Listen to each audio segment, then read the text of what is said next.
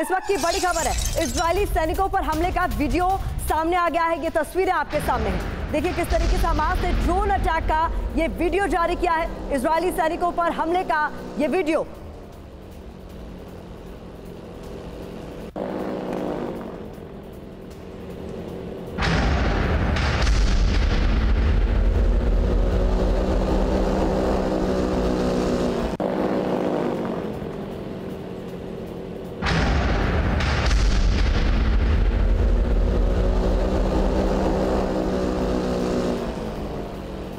बिल्कुल बिल्कुल। देखिए, लगातार ये तस्वीरें हम अपने दर्शकों को दिखा रहे हैं बता रहे हैं कि आखिरकार किस तरीके से मल्टीपल जगहों पर इसराइल ने ये अटैक इसराइल में अटैक को अंजाम दिया कि और ये ड्रोन से ये ड्रॉपिंग की गई है बॉम्ब्स की और ये दिखा रहा है कि कैसे पिन पॉइंटेड लोकेशंस पर जहाँ पर इसराइल की सेना लगातार पेट्रोलिंग कर रही थी, वहाँ पर मौजूद थी, उन लोकेशंस को टारगेट किया गया। और ये तस्वीरें हम आपको दिखा रहे हैं बताने की कोशिश कर रहे हैं कि आज एकाएक पाँच हज़ार जो रॉकेट्स दागने के साथ साथ इसराइल के अंदर कई मल्टीपल जगहों पर ये टारगेट किए गए।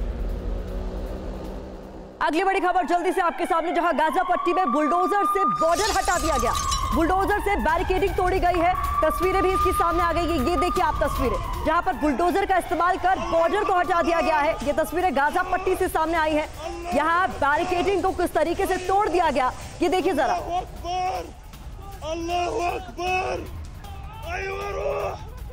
अल्लाह अब आपको छह तस्वीरों के ज़रिए हम दिखाने जा रहे हैं कि किस तरीके से आज ये पूरा घटनाक्रम सामने आया है, किस तरीके से हमला हुआ है, ये देखिए जरा।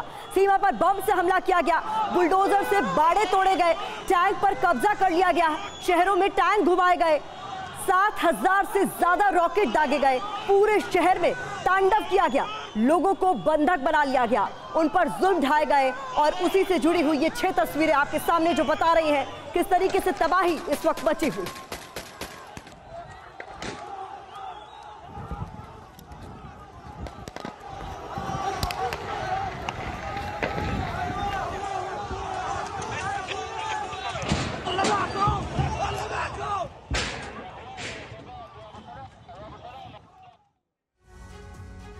हमारे साथ बेहद खास मेहमान इस वक्त जुड़ रहे हैं। Major general retired B K Dutta sir as defence expert हमें ज्वाइन कर रहे हैं स्टूडियो में।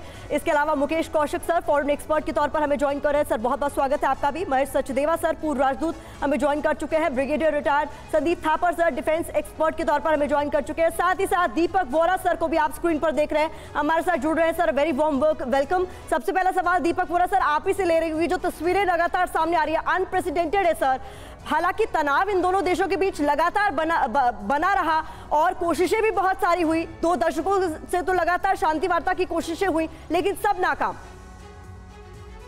हमारी हूँ मैम बहुत अच्छा लगता है आपके चैनल पर। बहुत कुछ सीखता हूँ आपसे और आपके विशेषज्ञों से। आपने कौन से दो देशों की बात की है? दूसरा देश कौन सा है? सर इसराइल और फिलिस्तीन के बीच जो तनाव चल रहा है। हाँ वो तो देश नहीं है ना वो तो एक टेररिस्ट ऑर्गेनाइजेशन है एक आतंकी संगठन है हमास। इसमें क्या हो रहा है मैम इसराइल को जीने का हक है कि नहीं? ये पहला सवाल है। Israel has the right to exist Palestinians जो हैं जब इसराइल की स्थापना हुई थी अरब होमलैंड के बीच में ब्रिटिश सरकार ने इस वहाँ पे बेईमानियाँ की थी तो उसको वो कहते हैं अल नकबा अरबिक में उसका मतलब होता है कलामिटी कैटेस्ट्रफी जब सब खत्म हो गया। Arabs have a right to exist Israel has a right to survive अब इन दोनों के बीच में जो इस समय तनाव बना हुआ है उसका क्या कारण है? uh, 2021 में इसराइल ने हमास को खूब ठोका था।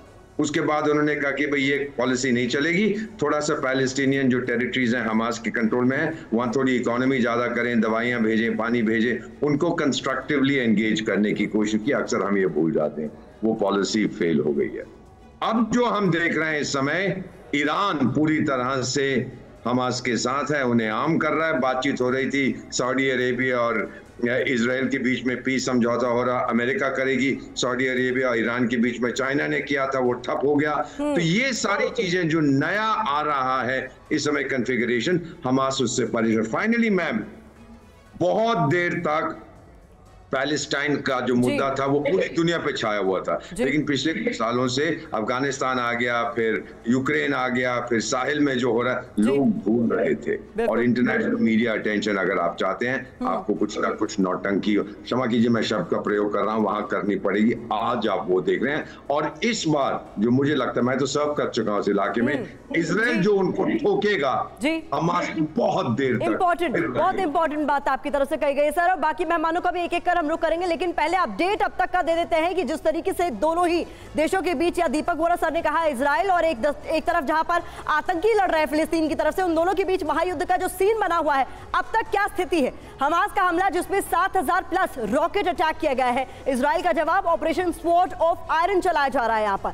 और किस तरीके से वार पलटवार चल रहा है? हमास के हमले में 21 प्लस इजरायली सैनिक मारे गए हैं। इसराइल का जवाब 17 मिलिट्री बेस इसमें तबाह कर दिए गए हैं। इसके अलावा अपडेट आपके सामने ये भी रख दे कि हमास के हमले में 540 प्लस आम लोग जख्मी बताए जा रहे हैं। इसराइल का जवाब, चार ऑपरेशनल कमांड पर हमला बोला गया है जवाब में। तो किस तरीके से वार पलटवार इस वक्त हो रहा है, ये हम आपको बताने की कोशिश कर रहे हैं। वीके दत्ता सर, किस तरीके से इस पूरे ऑपरेशन को देखा जाना चाहिए? क्योंकि इसराइल ने तो कह दिया है कि आप फुल फ्लेजेड वॉर चल रही है।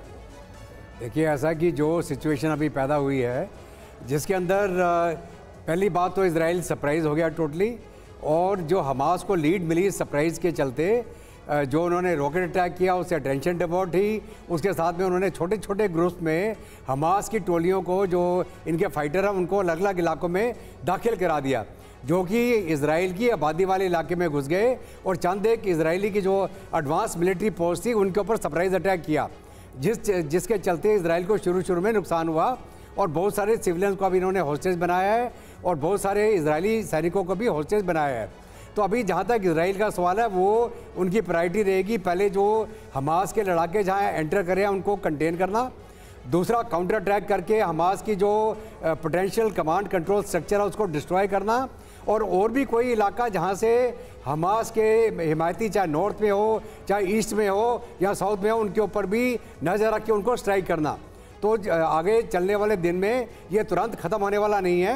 ये थोड़े दिन ये खिंचेगा जब तक कि पूरे जो हमास के लड़ाके अंदर घुसे हैं अर्बन एरियाज़ के अंदर ये अर्बन वॉरफेयर की लड़ाई बहुत मुश्किल लड़ाई होती है जिसमें फाइटिंग इन बिल्डअप एरिया बोलते हैं। तो हमास उसका फ़ायदा उठाएगा उनके लड़ाके इस युद्ध में ट्रेंड हैं और किसी भी सेना को दुनिया में बिल्डअप एरिया में लड़ाई लड़ना बड़ा मुश्किल काम है। आपको याद होगा यूक्रेन रशिया की वॉर में बकपुर को कैप्चर करने में रशिया को कितनी सर मुश्किल इस बीच बहुत महत्वपूर्ण हो जाता है। हम ये भी सुनवा दें कि भारत पे इसराइल के राजदूत की तरफ़ से अभी मौजूदा जो स्थिति है उस पर क्या कहा गया जरा सुनवाते हैं Early this morning, when Israeli citizens were still in their beds, Hamas, the terror organization from Gaza, perpetrated a dual attack, both rockets towards Israeli civilians and ground attacks by terrorists against civilian population, children, women, elderly. They have killed many and captured others. Israel will retaliate. Israel will go after the perpetrators and make sure they cannot repeat this kind of atrocities again.